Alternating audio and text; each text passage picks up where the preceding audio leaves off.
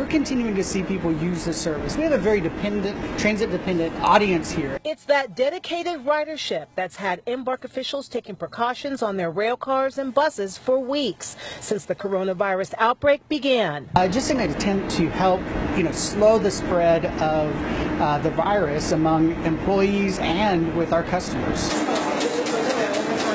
Spokesperson Michael Scroggins says they have increased the amount of cleaning on the streetcars throughout the day. High touch point areas such as the hand straps or the stanchions, buttons, doors, those areas are being cleaned on a routine basis. He says 80 of their Embark buses are out 12 to 15 hours a day, so those vehicles are cleaned thoroughly overnight with the help of extra crews. In compliance with the mayor's proclamation and what the CDC recommends, Embark is only allowing 50 people at a time on their streetcars and buses and should be at least three feet from each other. Uh, we're cutting the capacity of it in half. We're asking folks to even just exit through the rear door of buses just to help ensure that they're minimizing that exposure. Scroggins says it's all to curb the spread of the deadly virus and keep this needed mode of transportation clean and safe for customers. Patrina Adger, KOCO 5 News.